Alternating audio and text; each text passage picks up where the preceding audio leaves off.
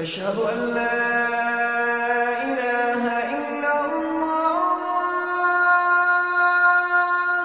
এরপর আল্লাহ রোজার উদ্দেশ্যের কথা বলেন উদ্দেশ্য হলো লা আল্লাকুম তাত্তাকুন যেন তোমরা সবাই নিজেদেরকে রক্ষা করার চেতনা গড়ে তুলতে পারো সাবধানতা যত্ন ভয় বলতে পারেন কিন্তু ভয় অর্থটা তাকুয়া শব্দের ভালো অনুবাদ নয় তাই আমি তাকুয়ার ধারণা ব্যাখ্যা করতে কিছু সময় ব্যয় করব তাকুয়া এসেছে আরবি ওকায়া থেকে মূল শব্দ হলো ওয়াকা ওয়াকি ওয়াকায়াতান।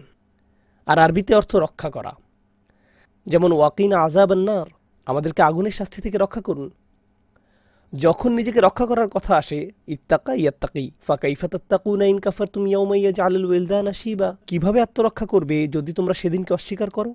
যেদিন বালককে করে দিব বৃদ্ধ। এখানে আত্মরক্ষার ধারণা প্রকাশ পাচ্ছে যখন কেউ আত্মরক্ষা করে, যেমন দরজা বন্ধ করে, জানালা বন্ধ করে সিকিউরিটি অ্যালার্ম সেট করে, যেটাই করুক। কারণ এখানে সত্যিকারের বিপদের সম্ভাবনা রয়েছে। প্রতিরক্ষার সাথে বিপদের সম্পর্ক থাকার কারণেই ভয় অর্থ ব্যবহার করে। ভয়ের কারণে তুমি যে পদক্ষেপ গ্রহণ করো, সেটাই তাকুয়া। ভয় নিজে নয়, এমনও হতে পারে কেউ একজন ভয় পেল, কিন্তু বাঁচার জন্য কোনো পদক্ষেপ নিল না। তার তাকুয়া নেই। অন্যদিকে যে ব্যক্তি ভয়ের কারণে দরজা বন্ধ করে, খারাপ এলাকা থেকে বের হয়ে যায়, যেটাই করুক না কেন, এর নাম হলো তাকুয়া। বুঝতে পারছেন? তাহলে নিজের প্রতিরক্ষার জন্য যে পদক্ষেপগুলো নেওয়া হয়, তার নামই তাকুয়া যে কোনো ধরনের সমস্যা থেকে নিজেকে রক্ষা করার জন্য ব্যবস্থা গ্রহণ করার নামই হলো তাকুয়া তাকুয়া ইতিবাচক অর্থ প্রকাশ করতে পারে। শুধু বিপদ থেকে প্রতিরক্ষা নয়, যখন তুমি তোমার পিতার রাগ থেকে বাঁচতে পদক্ষেপ গ্রহণ করো, মায়ের রাগ থেকে, স্বামী, স্ত্রীর রাগ থেকে, অথবা আজকের আলোচনার ক্ষেত্রে আল্লাহ যেন অসন্তুষ্ট না হয়, যখন আপনি পদক্ষেপ গ্রহণ করেন, যেমন আমি জানি ঘুমিয়ে পড়তে পারি, তাই ঘুমানোর আগে আমি আমার বাড়ির কাজ শেষ করব। আমার এখন সময় আছে, কিন্তু কেমন যেন অলসতা ফিল করছি। আমি জানি যদি দেরি করি, শেষ আর করা হবে না। এটা আসলে তাকুয়ামূলক কাজ। আপনি নিজেকে নিজের দুর্বলতা থেকে রক্ষা করলেন। উপযুক্ত সাবধানতা অবলম্বন করলেন। এজন্য কোরআনের এক জায়গায় পাবেন। সুরা বাকারার হজের প্রস্তুতি নেওয়ার কালে হজের প্রস্তুতিকালে আপনার হাতে যথেষ্ট টাকা থাকতে হবে, ব্যাগ ইত্যাদি গোছাতে হবে, আর আগের দিনে তো অনেক লম্বা ভ্রমণ করতে হতো। তাই আপনাকে ব্যাগ গোছানোটা ভালোভাবে নিশ্চিত করতে হবে। মরুভূমির ভেতর দিয়ে ভ্রমণ করতে হতো, তাই সাপ্লাই না থাকলে হয়তো মারা যেতে হবে। অতাজাউয়াদু এবং পাথেয় গ্রহণ করো। ফা ইন্না খয়রা জাদি তাকুয়া তাকুয়াই হলো শ্রেষ্ঠ পাথেয়। মানে যথাযথ সাবধানতা অবলম্বন করো। শুধু আল্লাহর ব্যাপারে সাবধানতা নয়, তো অর্থবোধক বাক্যাংশে বলা হচ্ছে, দেখো, সাবধান থাকো। অনিরাপদ পথ বা ভয়ঙ্কর এলাকা দিয়ে ভ্রমণ করো না। আগন্তুকদের সাথে কথা বলো না। নিজের নিরাপত্তা নিশ্চিত করো। এগুলো আসলে তাকুয়ার অর্থের অন্তর্ভুক্ত। এখন কেন আমি আপনাদের এসব বলছি? আল্লাহ অসাধারণ একটা কাজ করেছেন। সমগ্র কোরআনে তাকুয়ার কথা বলা হয়েছে প্রায় দুইশো বারের বেশি। এটি কোরআনের বহুল উল্লেখিত বিষয়বস্তুর একটি, যদি সর্বাধিকবার উল্লেখিত বিষয়বস্তু না হয়ে থাকে। আর আপনারা ঘুমিয়ে পড়ার আগে অগণিত খুদ্া শুনে থাকবেন তাকুয়া নিয়ে। প্রিয় ভাই বোনেরা, আজ আমি তাকুয়া নিয়ে কথা বলব। আর আপনি আস্তে করে ঘুমিয়ে পড়েন। সবাই বলে আপনার তাকুয়া থাকতে হবে তাকুয়া থাকতে হবে তাকুয়া থাকতে হবে, কিন্তু নামাজের পরে তো আর এটা বিক্রি হচ্ছে না মসজিদের বাইরে। আমি জানি না কোথা থেকে এটা অর্জন করব। এটা একটা ধারণা। কীভাবে এই ধারণা নিজের মাঝে বাস্তবায়ন করব? আমি শুনেছি এটা বেশ গুরুত্বপূর্ণ। আমার এটা থাকতে হবে। এটা একটা বিমূর্ত বিষয়। আমাদের ধর্মের সুন্দরতম একটা দিক হলো এমন বিমূর্ত ধারণাগুলোকে নিয়ে আল্লাহ তার নিজের বইতে প্র্যাকটিক্যাল কিছু উপায় বলে দিবেন। তাই এটা শুধু একটা দার্শনিক ধারণা হিসেবে আপনার মাথায় ঘুরতে থাকে না যে কিছু একটার নাম তাকুয়া আমার মনে হয় অনেক মানুষের এটা আছে, কিন্তু আমার নেই। না, আল্লাহ আসলে আপনাকে ট্রেনিং অনুশীলন দিবেন, যার বাস্তবায়ন করে আপনি নিজেও তাকুয়া অর্জন করতে পারবেন। এরকম উপায়গুলোর অন্যতম শক্তিশালী একটি হলো সিয়াম। আশা করা যায় রোজা আপনাকে তাকুয়া দিবে।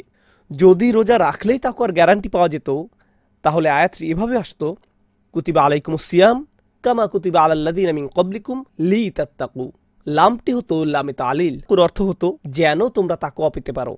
আর যখন লাল লাকুম বলছেন, তখন পাওয়ার একটি আশা আছে। কিন্তু কোনো গ্যারান্টি নেই।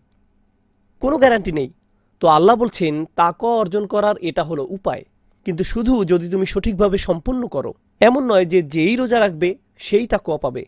চলুন এই ধারণাটা একটু অনুসন্ধান করে দেখি, যে রোজা কীভাবে একজনকে তাকুয়ার দিকে পরিচালিত করে। আল্লাহ সম্পর্কে সাবধান করে এবং তার অসন্তোষ থেকে নিরাপদ থাকা। খুব সহজে বলছি। আমি জটিল কোনো আলোচনা তুলে ধরব না।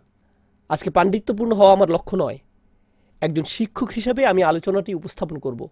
গবেষকের মতো করে নয়, স্কলারের মতো করে নয়। তাই বিভিন্ন উৎস থেকে বিভিন্ন গবেষকের গবেষণা আমি উপস্থাপন করতে যাব না। সেই অধ্যয়ন ইতিমধ্যে আমি করেছি। আমার দায়িত্ব হলো সেই কথাগুলোকে যত সহজে সম্ভব আপনাদের সামনে তুলে ধরা। চলুন এ সম্পর্কে কথা বলি। যখন রোজা রাখছেন, বিশেষ করে গ্রীষ্মকালে গরম কোনো জায়গায়, যেমন টেক্সাসে বা আরবের কোথাও বা পাকিস্তানে দক্ষিণ আফ্রিকায়, যেখানেই হোক। রোজা রাখলে পানির তৃষ্ণা লাগবেই। আপনি খুব ধার্মিক ব্যক্তি হন বা না হন, তরুণ হন বা বৃদ্ধ হন, তৃষ্ণা এসবের কোনো পরোয়া করে না, ক্ষুধা কোনো পক্ষপাতিত্ব করে না। আপনি ক্ষুধা অনুভব করবেনই। ভেতরের এই অনুভূতিগুলো আপনার শরীর মূলত আপনাকে আল্লাহর অবাধ্য হতে বলছে। তাই না?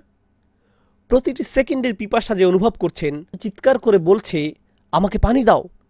আপনার পাকস্থলী প্রায় নিজের একটি করুণ গান নিয়ে আপনার কাছে কাকুতি মিনতি করছে। আমাকে খাবার দাও, আমাকে খাবার দাও। শরীরের ভিতরে একটি যুদ্ধ চলছে। আপনার শরীর আপনাকে আল্লাহর বিরুদ্ধে বিদ্রোহ করতে বলছে। তখন অন্তরের কিছু একটা আপনার পাকস্থলীকে এবং আপনার গলাকে বলছে, চুপ থাকো। মাগরিবের আগে নয়। মাগরিবের আগে নয়। সারা দিন ধরে আপনি আপনার নিজের সাথে যুদ্ধ করেছেন। নিজের সাথে, গোটা দিন। নতুন বিবাহিত দম্পতি। সে নিজের স্ত্রীর জন্য পাগল। তার দিকে তাকিয়েই, আমি এখন কি করব? মাগরিবের আগে নয়, আমি নিজেকে নিয়ন্ত্রণ করব, কারণ আমি রোজা রেখেছি। সবচেয়ে শক্তিশালী কামনা হলো সহবাস, এবং সবচেয়ে মৌলিক প্রয়োজন ক্ষুধা ও তৃষ্ণা। আল্লাহ সারা দিনের জন্য বন্ধ করে দিলেন। যদি আমি আর আপনি রোজা রেখে থাকি, তাহলে আমরা নিজেদের মৌলিক চাহিদা এবং শরীরের সবচেয়ে শক্তিশালী কামনাকে চূর্ণ বিচূর্ণ করে দিচ্ছি। সারা দিন ধরে শুধু আল্লাহকে সন্তুষ্ট করার জন্য। শুধু আল্লাহকে সন্তুষ্ট করার জন্য। প্রথমবারের মতো রোজা রেখেছে। দশ বারো বছরের কোনো বাচ্চা প্রথমবারের মতো রোজা রেখেছে। সে নরম নরম মজাদার কিছু চকলেটের দিকে তাকিয়ে আছে। হাত দিয়ে একটুখানি নিল। আল্লাহর কথা মনে করে আবার রেখে দিল। এমনকি তারও তাকুয়া আছে। প্রতিবার এমনটি করার মাধ্যমে আপনি আল্লাহ সম্পর্কে সতর্ক থাকার অনুভূতির বিকাশ সাধন করলেন। এই অনুশীলন কেন গুরুত্বপূর্ণ? যদি সারাদিন ধরে আপনার মৌলিক চাহিদা এবং সবচেয়ে শক্তিশালী কামনাকে আটকে দিতে পারেন, যদি এটা করতে সমর্থ হন, তাহলে রমজানের বাহিরে আল্লাহ আপনার কাছে এর থেকে অনেক কম আশা করেন।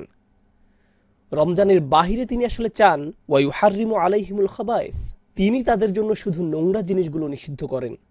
এই ট্রেনিং ঠিকমতো গ্রহণ করলে আপনি খুব সহজেই আল্লাহর অন্যান্য আদেশ নিষেধগুলো পালন করতে পারবেন। ব্যাপারটা দারুণ। ব্যাপারটা আমি এভাবে ব্যাখ্যা করি যে কোনো পরিশ্রমসাধ্য কাজের জন্য মিলিটারি ট্রেনিং বা পুলিশের ট্রেনিং এই ধরনের ট্রেনিংগুলোতে একজনকে প্রচুর পরিমাণে কঠিন কঠিন অনুশীলন করতে হয়।